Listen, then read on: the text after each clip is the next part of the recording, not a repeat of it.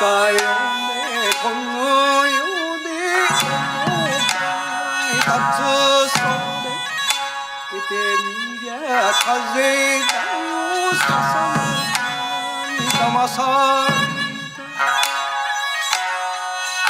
cao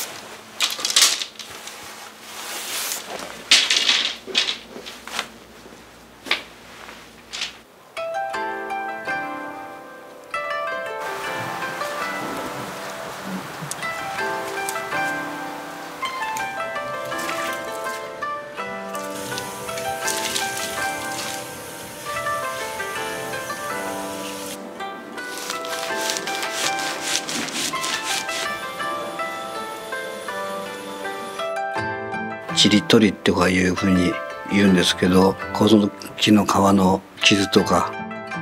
機械でそれは取れないで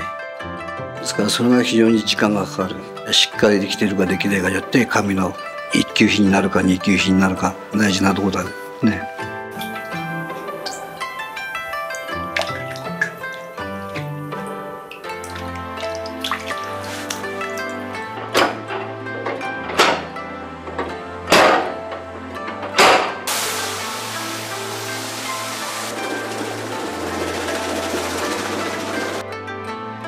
トロロアオイっていうのはねアオイ科の植物で流し継ぎをする時にはトロロアオイの粘液っていうのが必要不可欠。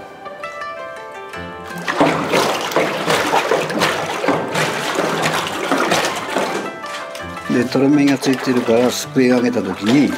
すぐ水がそのすだれの間から落ちない。で手すき和紙の場合は全部本人の勘でやるわけですよ。その勘をやっぱり研ぎ澄ましながら紙の厚さをやっぱりすき分ける。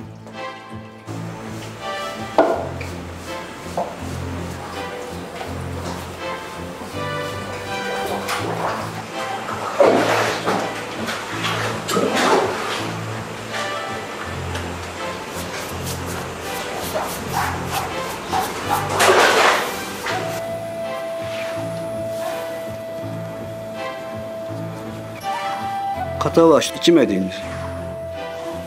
木版の代わりに紙を使って色をつけたくないところに糊を置くっていう。本来型染めっていうのは布に染めてたそれを紙っていうものに染めたっていうのが一つの特徴。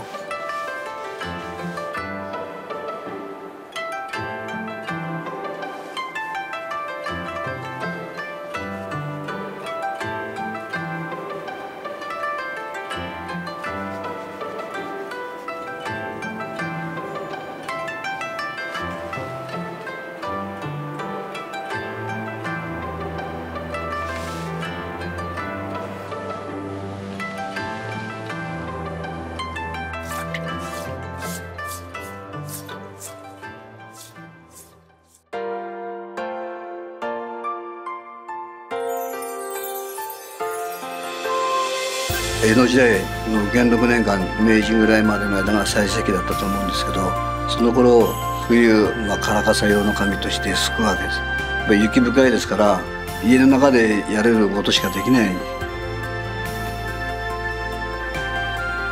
紙っていうのは非常に面白い素材。いろんなことができる。伝統に埋もれていくんじゃなくて伝統をもとに進めていくというふうにしていきたいなというふうに思っています。